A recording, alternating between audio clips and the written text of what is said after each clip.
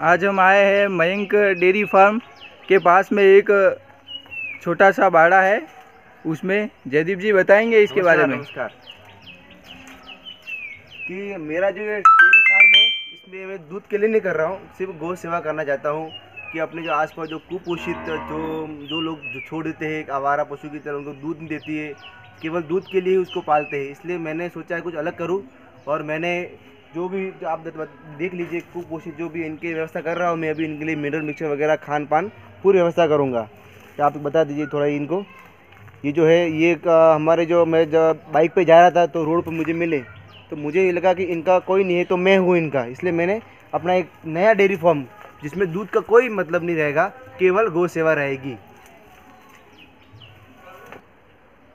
ये जो अभी गाय बताई थी जयदीप जी ने इसके रात के रहने की व्यवस्था इस घर में की है। अच्छी व्यवस्था दिख रही है। ये देख लीजिए, आप मैंने इनके लिए पक्का पूरा मकान बनाया है कि रात को क्या बारिश हो, ठंड के लिए ये है और बाहर जब गर्मी पड़ती है तो मैं पेड़ पौधे लगाए उसके बीच में उनको बांधता हूँ, इससे उनको ठंडक महसूस हो। दिन में अंदर जाता रात को ही अंदर रात लाता हूँ। यह इनके लिए अभी नए नए गऊ निकलेंगे तो जो भूसा आएगा, इसमें भरा जाएगा। बता दीजिए। और और गर्मी के लिए देख लीजिए आप इस सब है। इसमें मैं अकेला ही हूँ, केवल सेल्फ सफ़ाई करना, मैं अकेला दिन भर, मेरा कोई काम नहीं है। और दो घंटे सुबह और दो घंटे शाम, दिन में मैं पढ़ाई भी करता हूँ और दो घंटे सुबह और दो घंटे शाम को ये कार्य करता हूँ। ये आपने जो गाय बताई है इनकी नस्ल कौन सी है? ये देसी नस्ल है।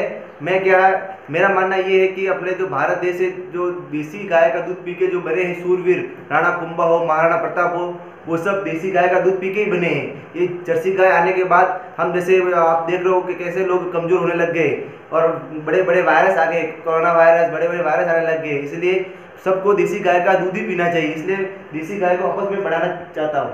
तो आप ये देसी गाय की नस्ल को सुधारने के लिए प्रयास कर रहे हो अभी? हाँ पूरा प्रयास कर रहा हूँ। जो कोशिश हो मैं करता हूँ। मेरा गाँव मुझे इसमें सहयोग करता है। ठीक है बहुत बहुत धन्यवाद भाई साहब।